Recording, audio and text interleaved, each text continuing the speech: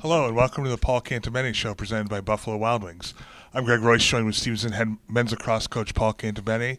Coach, um, you went over to Salisbury last week, and um, you know, not hard fought battle. Um, just kind of take us through that game. You made a little bit of a comeback, and um, yeah, this was a hard fought game. I thought both teams really played hard. You know, I mean, it wasn't the cleanest of games, but when you us and Salisbury together, I thought we just laid it all on the line. Both teams played their hearts out, and you know they made one or two more plays than us, and uh, and hit some good shots. I thought they did a, a really good job, and I thought we kind of missed some shots that we should have had.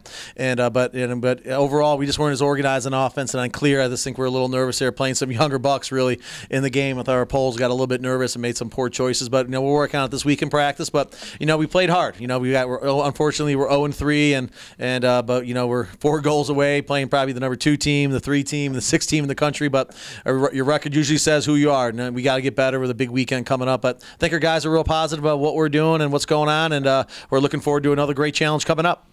Yeah, obviously. In fact, obviously, you're just out at practice. Um, you know, how's practice today? Well, I think we got a lot stronger today.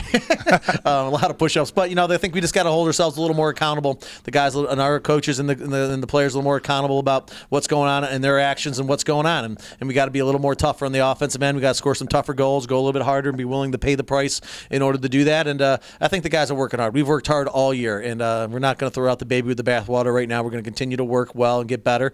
And hopefully by the end of the year, we have a really good team with a chance to make the NCAA tournament. That's our goal, as it's always been, and, and hopefully we can do that.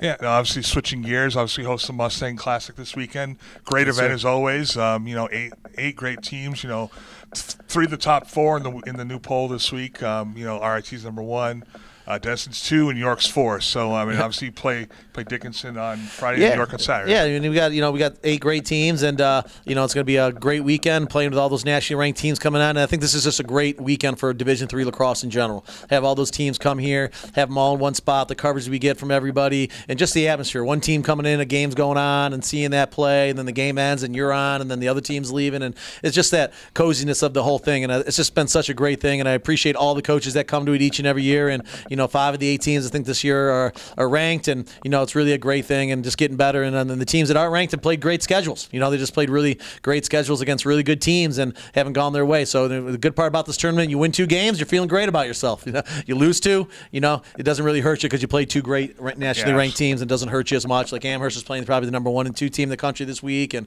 you know we're playing um, uh, the probably the 12 or 11 seed in the poll. Greg's more versed on it than me, but 11 and you know four. You know, so they're all great games, and so we're, you know we were excited about it, and all the teams are going to be excited about a great weekend of just showcase of Division Three lacrosse.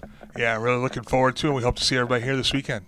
Can't wait. Come in. Game started at 12:30 and uh, on Friday and Saturday, and uh, we played the late games. But everybody, come on out. It should be a good time at Owings Mills. All right, thanks, Coach. Um, wish you the best of luck, and obviously we'll talk to you on Friday and Saturday. Hopefully, I'll be a lot happier. All right, all right. For Paul Cantabene, I'm Greg Royce. This has been the Paul Cantabene Show.